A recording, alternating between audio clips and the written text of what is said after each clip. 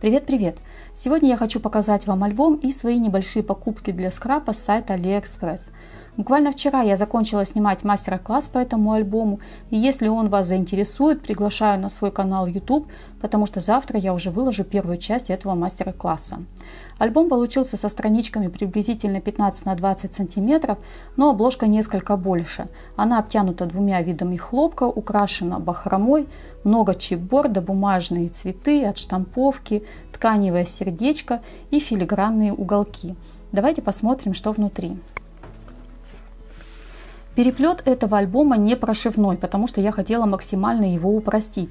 Но тем не менее, я думаю, он получился очень надежным за счет того, что сделан он на ткани и дополнительно укреплен братцами. На первом развороте я использовала в качестве украшений тканевые цветы, бумажные, много чипборда. Причем почти весь чипборд я задекорировала, потому что хотела добавить блеска в этот альбом. Надписи у меня на английском языке. Здесь такая же бахрома, как на обложке, и металлический ключик. Держится на магните, откидывается вправо, так и так. Здесь прозрачный карман из кальки. Следующий разворот. Также держится на магните подложка, откидывается так. Здесь спрятаны два небольших тежика. Здесь раскладушка для фотографий. И также в качестве украшения филигрань, цветы, чипборд и очень блестящие камушки сайта AliExpress. В этот альбом они вписались просто идеально. Следующий разворот откидывается вверх, еще раз вверх. И здесь такая вот открывашечка. Закрываем. Здесь все держится на магнитах, а правая сторона на прозрачных анкерах. Она откидывается в сторону Здесь спрятан большой карман для фотографий большего формата, либо просто для большого количества фотографий. Закрываем. Здесь у меня блеск, это камушки, двойной эмбоссинг, то есть сначала я покрыла одной пудрой чипборд, а потом второй пудрой, но не сплошным слоем, а местами для того, чтобы проглядывал нижний слой. Также здесь у меня, как видите, пайетки, которые такие же бирюзовые, как основной фон бумаги. Следующий разворот. На этом развороте я использовала почти только плоский декор для того, чтобы компенсировать объемный декор на предыдущей странице. Здесь у меня глянцевые надписи, тканевые розочки, плоские цветы и также чипборд и блестящие камушки. Левая сторона неправильно закрыла, закрывается вот так. Здесь спрятан магнит и он держит полностью откидывающуюся часть. Открываем подложку, отворачиваем еще один, еще один отворот. Здесь большой тег, но в принципе сюда можно разместить еще и фотографии закрываем, а здесь открывается вниз. Так, так, надеюсь, это все помещается в камеру.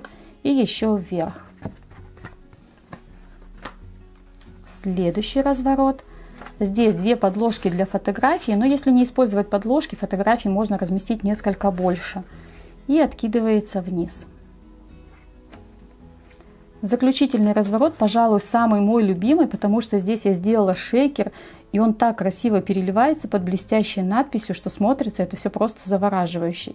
Здесь только одна подложка для фотографии, но в кармане спрятаны еще дополнительные подложки, для которых я сделала ручки. На последнем форзаце карман, в который также можно разместить еще карточки либо фотографии. Помимо этого, между страниц сделаны еще большие карманы, в которых прячутся вот такие большущие карточки. На них можно разместить фотографии большого формата, либо по 4 фотографии такого же формата, как и в альбоме. А это половинки 10 на 15. И третий лист. Вот такой вот альбомчик у меня получился. Надеюсь, он вам понравился. Давайте перейдем к покупкам. Заказ я делала 11.11 .11, и только сейчас они начали до меня добираться. Первую очередь вот такой большой фоновый штамп. Его размер 14,2 на 9,7. Я очень переживала, как он будет штамповать в центре, потому что достаточно большая поверхность, но в целом он штампует неплохо. Правда, мне пришлось приложить для этого немало усилий. Я сделала отштамповку черным на белом, чтобы вам было лучше видно, но считаю, что наиболее выигрышно он будет смотреться, например, синим на голубой бумаге или красный оттиск на оранжевой бумаге, для того, чтобы это было больше похоже на тень от фактуры. Следующим у меня лежит фоновый нож. Вот такие петельки мне не очень понравились еще за счет того, что у этого ножа нет ограничения по краю. То есть можно сделать фактуру на большую поверхность, чем сам нож. Я его купила с той целью, что с его помощью хочу разнообразить подложки для фотографий, например. И вот здесь я его испытала, и мне очень нравится результат. Аккуратные милые петельки, очень ровная отстрочка. Единственное, может быть, размер этого ножа не слишком удачный. Его бы чуть подлиннее и чуть поуже, потому что нестандартный размер фотографии. Длина 13,5 а ширина 10,5. То есть получается, что ширина как для фотографии 10 на 15, а длина как для фотографии 9 на 13. Но все равно этот нож мне очень нравится, я рада, что его купила, однозначно могу порекомендовать к покупке. И еще один маленький ножичек, это вот такие вот стрелочки, их в наборе 5 штук, плюс еще каких-то непонятно 4 совершенно малипусеньких ножичка, звездочка, сердечко, овальчик и ромбик. Предназначение этих ножей я совершенно никакого не придумала. Возможно, как наполнение для шейкеров, но тогда их слишком мало. Здесь 5 разных стрелочек, они все симпатичные, я думаю, отлично подойдут, например, для детских работ, для работ в стиле бохо или даже свадебных работ, если они не слишком торжественные. Вот так они выглядят, и длина каждой стрелочки 4,5 сантиметра. Нож рубит отлично, вырубка вынимается тоже замечательно. Вот такое видео сегодня у меня получилось. Я надеюсь, оно было для вас чем-то интересным или полезным. Всех целую, обнимаю. До скорых встреч. Пока-пока.